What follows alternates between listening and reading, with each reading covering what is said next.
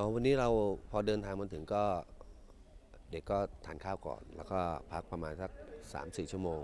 แล้วโปรแกรมซ้อมแล้วก็ช่วง5โมงนะครับมาวันนี้ก็มาซ้อมเบาๆการเคลื่อนตัว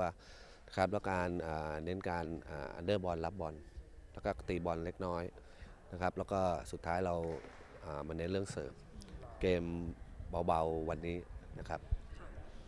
วันนี้เป็นวันแรกเป็นวันแรกเท่าที่ผมดูตอนนี้ก็จะมีปัญหาเรื่องไฟ เพราะว่าแสงสว่างค่อนข้างเข้าตา ไม่รู้ว่าเออทางฝ่ายจัดเขาจะมีการแก้ไขหรือเปล่า แต่ถ้าไม่มีการแก้ไขเราก็คงจะสร้างความเคยชินมามาช่วงนี้วันแรกเนี่ยก็คิดว่าสภาพการการปรับตัวในลักษณะของอาสายตาเนี่ยผมว่าคงจะยังยังไม่พร้อมเท่าไหร่ครับผม